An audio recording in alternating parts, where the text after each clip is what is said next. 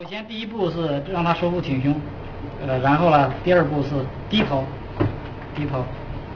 然后呢，在这个手找到作用点以后，第三步是侧摆，侧摆，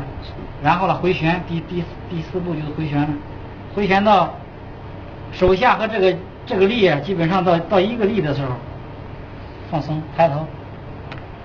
好，这是最后完成了。